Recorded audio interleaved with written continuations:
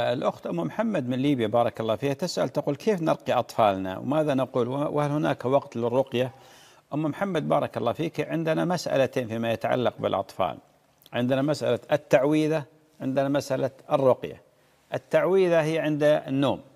لما ينام الأطفال تقرأين عليهم المعوذتين. قل أعوذ برب الفلق وقل أعوذ برب الناس. ولو زدتي أعيذكم بكلمات الله التامة من كل شيطان وهامة من كل عين لامة. طيب هذه كانت تعويذة النبي عليه الصلاة والسلام للحسن وللحسين.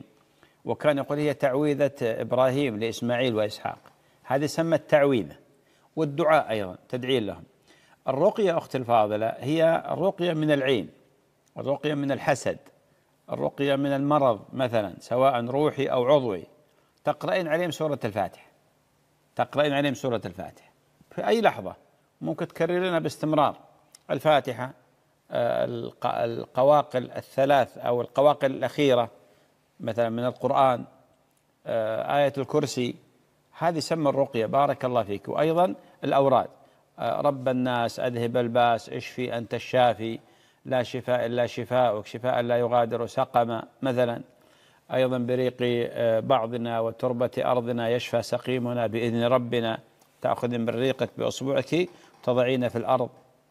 والدعاء. بارك الله فيك يا أم محمد من ليبيا.